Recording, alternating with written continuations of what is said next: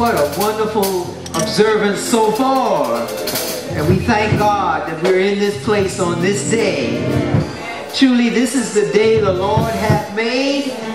We will rejoice and be glad in it. A well-established protocol has gone forth, but I want to be sure we include our veterans on all levels, our active duty force, and our future uh, members of the armed forces. And I also want to be sure we include our minister of music and his new bride, Sister Michelle. Yes, we thank the Lord for them. Uh, we also want to take a moment to acknowledge the presence of the First Lady of this church. Can't go anywhere without her, who is an incredible person that God has put in my life. For all the others that were included in the protocol, we say God bless you one and all. Today I'll be reading from Philippians chapter 4, verses 6 and 7. I'll read this from uh, two different translations. Ephesians 4, 6 and 7, King James. Be careful for nothing, but in everything by prayer and supplication with thanksgiving, let your requests be made known unto God. And the peace of God, which passeth all understanding, shall keep your hearts and minds through Christ Jesus. Now from the message. Don't fret or worry. Instead of worrying, pray. Let petitions and praises shape your worrying into prayers, letting God know your concerns. Before you know it, a sense of God's wholeness, everything concerning, everything coming together for good, will come and settle on you. It's wonderful what happens when Christ displaces worry at the center of your life. Let us pray. Father, we ask that first you empower us to recognize the great contributions these veterans have made. Some are with us standing today, some did not return from the battlefield. But we do thank you for each and every contribution. And keep us always grateful for these great sacrifices. Now, the Lord, we ask your blessing upon this time that we're calling sermon time. Visit, visit us through your word. Empower us and equip us that we may serve both God and country too.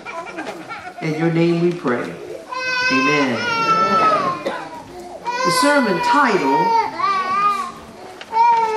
the jihad of the soul.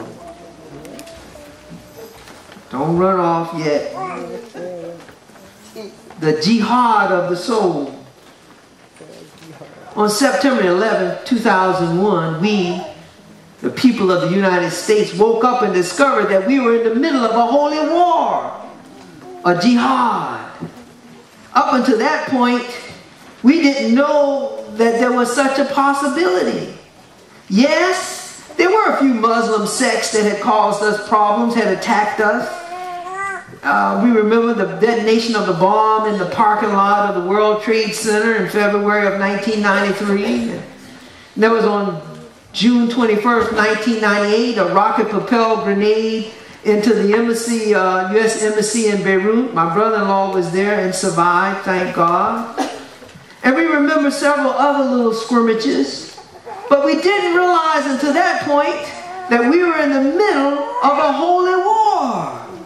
There were people in this world who did not like us, did not love us, did not care for us. And we didn't know it until that day. We didn't realize that they had not only a little skirmish with us, but had declared war. A, a jihad. Now, while we're saying this, I want us to understand that all Muslims, all Muslims are not jihadists in the way that term has come to be and come to be used. That, that, that's not the case for all Muslims. Muslims fall into different categories, and we have to understand that. Let me just say a few things about Islam, and we'll move on. First, we need to realize that Islam is one of the three Abrahamic religions. Judaism, Christianity, and Islam make up the Abrahamic religions. And as such, that means that they're part of the company that came out of Abraham, and they all call Abraham their father. Second, the primary goal of Islam is to teach men and women to submit completely to God. Now, they may call God by a different name and they mean something quite different than we do, but they got from Father Abraham that notion that all of us should be submitted to God. Third, the Quran tells us that we are respected by true Muslims.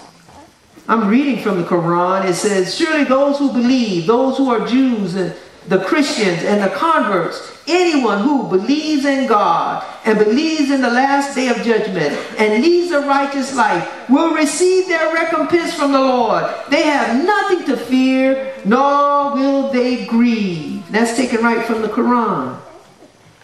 So uh, often if you read, a true Muslim, they'll call us people of the book. And fourth and finally, the primary teaching of Islam concerning the jihad is the holy war of the soul. Like Christians, Muslims believe that there's a war on the inside. So they can affirm what Paul told us. Paul said in Romans 7, For I delight in the law of the God of God from the outward man but I see another member in my body warring against the law of my mind and bringing me into captivity to the law of sin which is in my members. O wretched man that I am, who shall deliver me from this death? And again Paul wrote, For the flesh lusteth against the spirit, and the spirit against the flesh. And these two are contrary the one to the other, so that we cannot do the things that we would.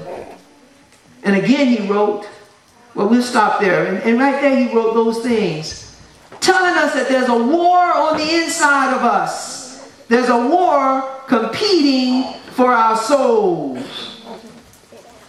We need to understand who we are before we get into this message today. We are spirit. We possess a soul and we live in a body.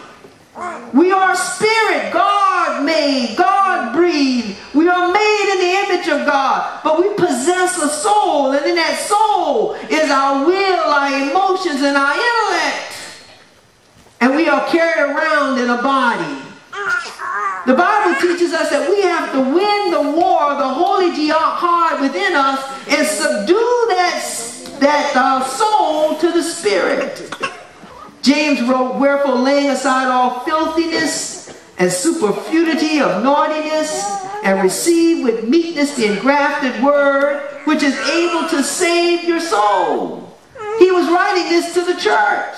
He was saying, yes, your spirit is born again, but you got to get your will, your intellect, and your emotions born again. And that's a battle. That's a battle. Now, our text Philippians 4, 6, and 7 was written by the Apostle Paul. And the Apostle Paul was a man who had won that battle. Paul was a man who had subdued his soul to his spirit. And uh, that wasn't an easy process. And it wasn't a lifelong process. It was a temporary process that had to be repeated over and over and over again. So Paul would write, I die daily. I fight that battle and win daily. We need to kind of look at this a little closer. We have to understand this, Paul. And he's writing to this church in Philippi, a church he loves. And he tells them about his battle. He says, I've won the battle over anxiety. I won the battle over fear. I won the battle over all that stressing in my life. And I want you to know you don't have to be stressed over anything. But in everything, just pray and let God know what you want. And the peace of God will come over you. And you will have the victory in that arena.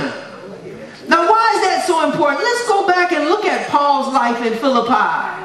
Paul was minding his own business in Asia Minor enjoying his ministry, and God gave him a vision. And in that vision, God said, There's a man in Macedonia standing in front of you, and he wants you to come over to Macedonia. So Paul leaves Asia Minor. No other Christian worker had ever left Asia Minor, and he marches up to Philippi. When he gets to Philippi, he encounters a young lady who has a, an evil spirit, a root worker, if you would. And this root worker is making money by casting spells and telling fortunes and doing whatever root workers do. And Paul casts that spirit out of the woman, and when he casts the spirit out, her master gets mad and puts Paul in prison. Now, Paul is sitting in prison. Paul and Silas, and, and, they're in prison, and it's one of those ancient prisons. There are no resources, there are not even lights. So at midnight, Paul and Silas, y'all know the story, they have a prayer meeting. And they start to pray and praise God, and the, and the earthquake comes, and the, the chains are broken, and they're set free, but they don't leave. And the prison and the uh, prison guard comes and he says, I'm going to kill myself because the prisoners have all been set free. And Paul said, don't do that. We didn't leave. We didn't leave. We're still here. And when the prison guard saw that, he said, what must I do to be saved? And that's how the church in Philippi got started. Now, let me just back up a minute. If that had been you and, uh, not you and me, some other church down the street. And I said, let's go to Macedonia. And you were with me and we went to Macedonia and they threw us in jail. Can you imagine the conversation we would have had? Said, Reverend Black, you missed the Lord this time. I'm sorry, fella. That, that was no vision. That was some you had last night. You missed the Lord. You missed the Lord. But Paul, is he so calm and peaceful, serene, sitting in prison? In a foreign jail. Y'all seen those TV shows locked up in a foreign jail? This man has total peace. So when he writes this to the church in um, Philippi, they know. He knows what he's talking about. So I want to deal today with uh, three battlefields for our soul. Three places that we need to get the victory. Three wars we got to fight at the same time. The first battlefield is the battlefield of trust. The battlefield of trust. In this text, we see Paul won the battle of trust. how do we know if we've won the battle of trust? We have a peace that passeth all understanding. If we're stressed, if, if we are, have tension on the line, we have not won the battle. If we're worried, if we're having panic attacks, we have not won the battle. When we go to work, if there's a knot in our stomachs, when we pull in the parking lot, we have not won the battle. When we go encounter that rough person in our lives, if there's all kind of anxiety coming on the inside, we have not won the battle. But we can win the battle. Jesus was constantly disappointed with his disciples because they never fought that battle. In Matthew 6, and I heard Miss Jefferson refer to this in Sunday school. In Matthew 6, he said, Which of you by taking thought can add one cubit unto your statue? And why taking thought for raiment? Consider the lilies of the field, how they grow. They toil not, neither do they spin. Yet I say to you that even Solomon in all of his glory was not